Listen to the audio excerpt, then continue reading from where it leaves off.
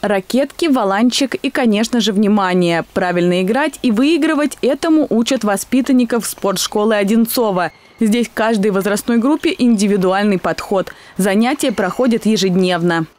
Бывает, да, сейчас вот лагерь по две тренировки в день. А, Тренирую детей в возрасте от 11 примерно и так далее, потому что есть и взрослые ребята, которым уже и 19-20 лет. Они остаются все равно в системе сборных команд э, России до, там, до 21 года, например, и тренируются здесь также. Вот. А Так, средний возраст где-то 14 лет. Прежде чем попасть в основной состав воспитанников секции спортшколы по бадминтону, необходимо начать обучение в начальных группах, где с ребятами занимаются 6 лет. Если малыши показывают результат на тренировках, то переходят в группу повышенной квалификации. В этом году спортсмены уже успели выступить на всероссийских соревнованиях.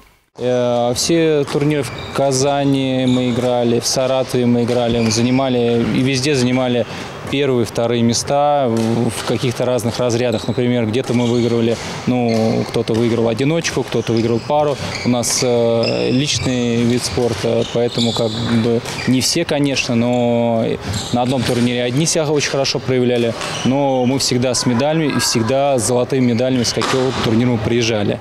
Арина в 2017 году поехала на сборы по бадминтону вместе с братом и сестрой.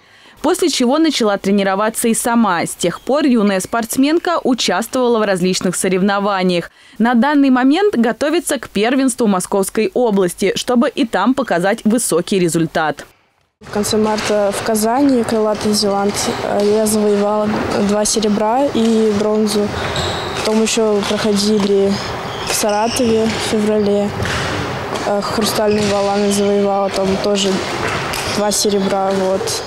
Скоро у ребят начнется новый спортивный сбор. Но перед ним они наберутся сил и отдохнут. В этом году юным спортсменам еще предстоит выступить на первенстве России до 15 лет, который пройдет в Санкт-Петербурге в октябре. Екатерина Крамер, Илья Павлов, телекомпания «Одинцова».